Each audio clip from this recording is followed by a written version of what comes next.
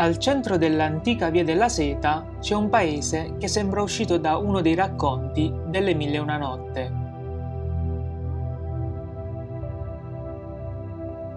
E poco importa se non siamo ad Agraba, perché se chiudi gli occhi, forse riusciresti anche a vederlo, quel giovane ladruncolo di Aladdin scappare dalle guardie del sultano per le vie della città. Non siamo in Iraq, non siamo in Cina, non siamo nella penisola araba. Siamo in Uzbekistan, un luogo che sembra sospeso tra due mondi. Quello sovietico dell'ex URSS, dalla quale ha ottenuto l'indipendenza solo nel 1991, e quello arabo, da cui deriva da secoli la fede islamica che è maggioranza nel paese.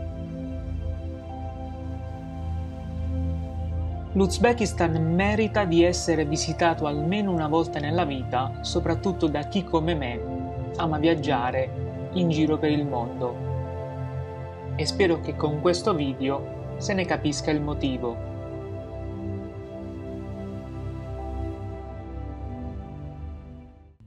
Il mio viaggio in Uzbekistan inizia da Tashkent, la capitale del paese.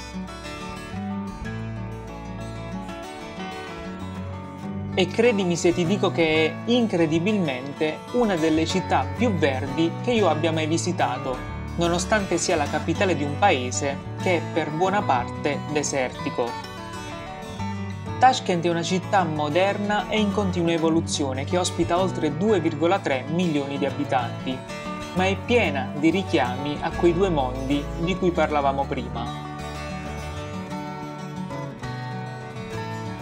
L'influenza dal mondo russo la ritroviamo negli antichi palazzi costruiti durante il periodo sovietico, che in parte vengono abbattuti per lasciare spazio alle nuove costruzioni e in parte resistono come simbolo di quell'epoca ma il retaggio sovietico possiamo riconoscerlo anche nella rete metropolitana inaugurata nel 1977.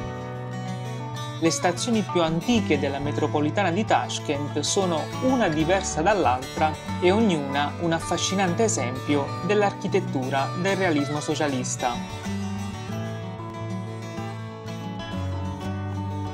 L'altro mondo, quello legato alla fede islamica, lo ritroviamo invece nei luoghi religiosi, nelle moschee e nelle madrasse, in buona parte molto più antiche e a mio parere anche più suggestive degli edifici sovietici. Infine, per immergerci completamente nella cultura uzbeka, quella di un popolo che ha fatto del commercio tra l'Oriente e l'Occidente il suo punto di forza, non dovrebbe assolutamente mancare una visita ad uno dei tanti mercati cittadini, tra cui il più importante è sicuramente il Chorsu Bazar.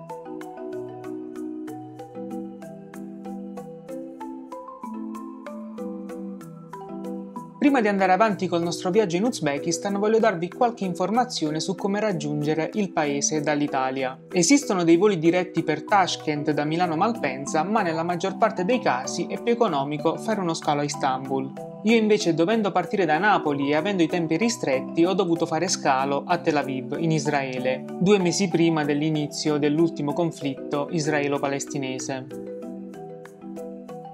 In tutto il costo dei voli tra andata e ritorno per me è stato di 1100 euro e 83 centesimi, ma era agosto e ho prenotato con poco anticipo, in momenti diversi si riesce a stare tranquillamente sotto i 550 euro.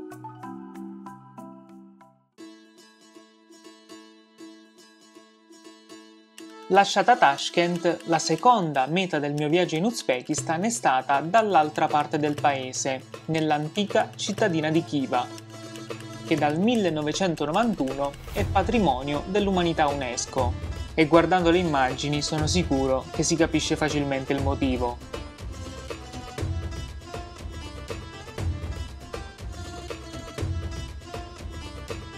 La parte antica della città di Khiva è circondata dalle immense mura di fango e mattoni che per secoli l'hanno resa una fortezza inespugnabile alle porte del deserto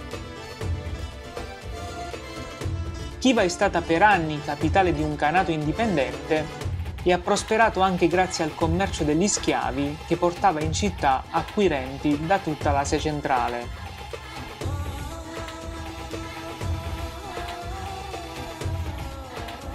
Tra i tanti edifici storici presenti all'interno delle mura di Chiva, quello che spicca di più è sicuramente il minareto Caltaminor, la torre circolare incompiuta che è uno dei simboli dell'Uzbekistan più riconosciuti in giro per il mondo. Per arrivare da Tashkent a Khiva ci è voluta una lunga notte in treno attraverso il deserto fino alla stazione della vicina città di Urgench. Questo spostamento, così come tutti gli altri transfer e i soggiorni nelle varie strutture in cui abbiamo dormito, sono state organizzate da WeRoad, l'agenzia con la quale sono partito per l'Uzbekistan in questo viaggio di gruppo organizzato da loro. A WeRoad per soggiorni e transfer ho pagato in tutto 1298 euro, comprensivi però anche di 99 euro di assicurazione per eventuale annullamento del viaggio.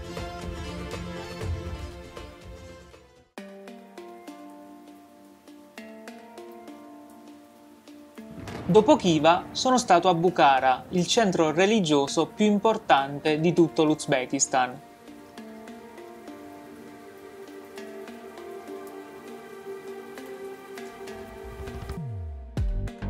Bukhara è una città ricca di moschee, madrasse ed altri edifici religiosi e per secoli è stata un importante snodo di passaggio al centro dell'antica Via della Seta, tanto che proprio qui, per più di tre anni nel 1200, vissero Niccolò e Matteo Polo, cioè il padre e lo zio del veneziano Marco Polo, uno dei viaggiatori più conosciuti dell'antichità grazie al suo libro Il milione. Bukhara come Khiva è un museo a cielo aperto patrimonio dell'umanità UNESCO. E se volete accettare un consiglio datemi retta, fatevi un bel giro dopo il tramonto perché l'illuminazione notturna degli edifici più antichi è uno spettacolo da non perdere.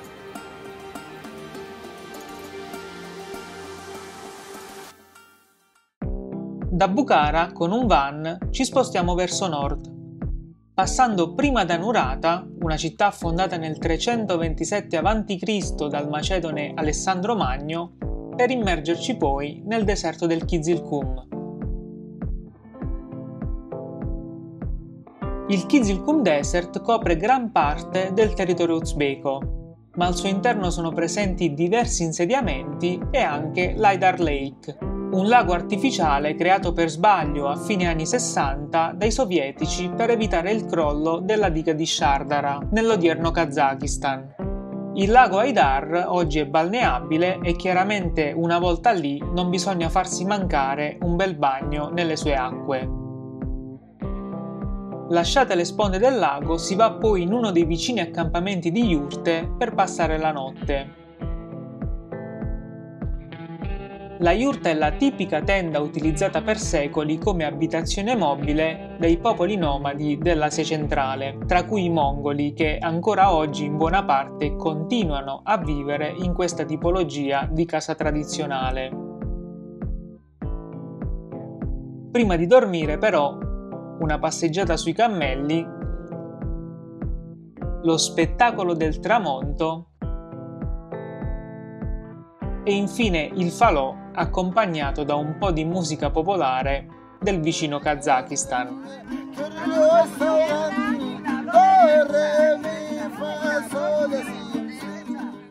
Non ci resta che vedere l'ultima tappa, quella di Samarkanda, la vera perla dell'Uzbekistan. Prima però voglio rubarti solo qualche secondo per parlarti di Get Your Guide, la piattaforma che io stesso uso spesso quando organizzo i miei viaggi per programmare le attività più particolari nei posti che visito. Get Your Guide è una piattaforma sulla quale è possibile ricercare e prenotare escursioni, attività e tour guidati praticamente ovunque nel mondo. Ad esempio, ricercando Samarkanda possiamo vedere tutti tutti i tour guidati disponibili in città e spesso si trovano anche esperienze davvero fuori dal comune. Io vi lascio il link a Get Your Guide in descrizione, dateci un'occhiata perché offre attività interessanti ovunque vi troviate nel mondo, magari anche vicino casa vostra. Ora però torniamo in Uzbekistan e arriviamo finalmente a Samarkanda.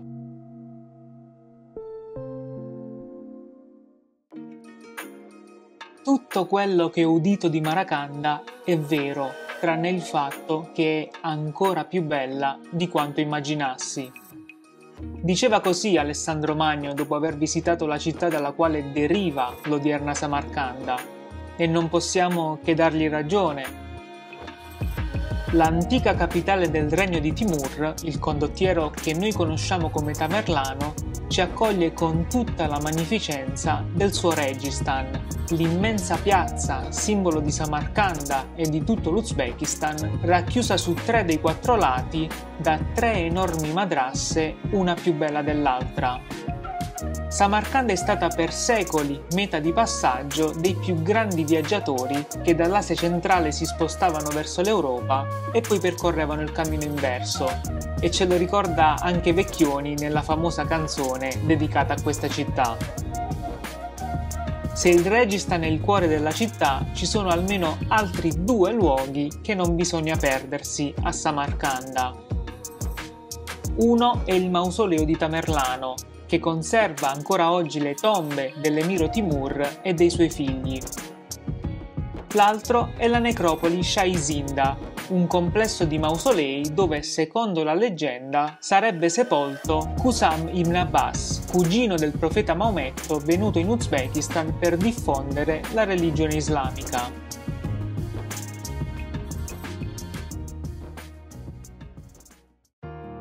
Samarkand è stata l'ultima tappa del mio viaggio prima di tornare a Tashkent per rientrare in Italia.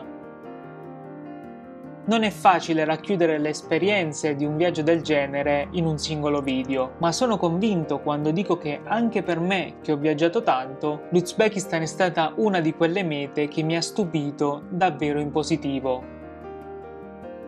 Come al solito a fine video riporto il resoconto di tutte le spese che ho dovuto sostenere per questo viaggio. Abbiamo già visto il costo dei voli e quanto ho pagato a WeRoad per soggiorni e transfer e a queste spese si aggiungono 208,34 euro per le attività extra pagate direttamente sul posto, 122,83 euro per i vari pranzi e cene, 8,34 euro per i trasporti privati, principalmente quelli tra l'aeroporto di Tashkent e il centro città, 12,50 euro per la SIM telefonica locale e infine 32,99 euro per souvenir e spese varie. Il totale è quindi stato di 2.780 83 euro 83 centesimi, che forse è tanto per 9 giorni, ma va considerato che ho pagato quasi il doppio del normale per i voli dato che era agosto e che organizzando lo stesso viaggio senza un'agenzia come WeRoad di mezzo, forse si riesce a risparmiare qualcosa in più anche su soggiorni e trasporti interni, anche perché l'Uzbekistan è molto economico per noi europei. Con questo video ho cercato di trasmettere un pochino della meraviglia che è stato questo viaggio, perciò spero tu voglia lasciare un like per supportare il mio canale in segno di apprezzamento. Ti invito anche a dare un'occhiata agli altri video presenti sul mio canale e ad iscriverti se ancora non l'hai fatto, così possiamo darci appuntamento al prossimo video.